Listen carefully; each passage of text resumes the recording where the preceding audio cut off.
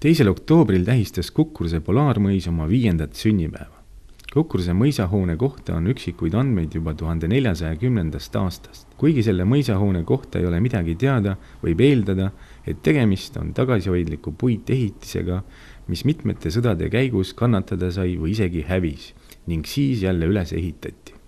praegust hoonet hakati ehitama umbes tuhande seitsmesaja kuuekümnenda aasta paiku tookord ehitati ta ühekorruselise kivihoonena ning aluseks võeti barokkstiil, kuna see oli parasjagu moes.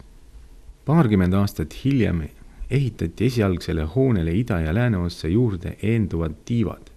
idatiib oli algse hoonega pikuti, lääne tiib aga risti. sellele ehitati üheksateistkümnenda sajandi lõpul teine korrus ning lääneosale lisati veel pikuti teine tiib viie aasta jooksul on Kukruse polaarmõisast saanud Ida-Virumaa ainuke koht, kus toimuvad suveetendused. lisaks suveetendustele toimuvad Polaarmõisas enamik maakonna ja ka riigi tasandi tähtsusega konverentse, seminare, teabepäevi ning pidurikke vastuvõtte. traditsioonilisteks üritusteks on Kohtla vallavanema Eti Kagarova sõnul saanud nii muuseumide öö kui ka teadlaste öö.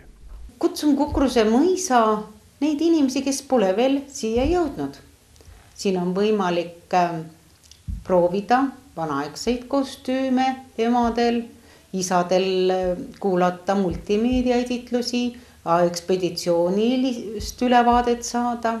lastel on võimalik äh, liumel liugu lasta, lumesõna pida-, sõda pidada ja jääkaru kallistada. vallavanema sõnul ootab Kukruse polaarmõis kõiki huvilisi, kes ei ole sinna veel jõudnud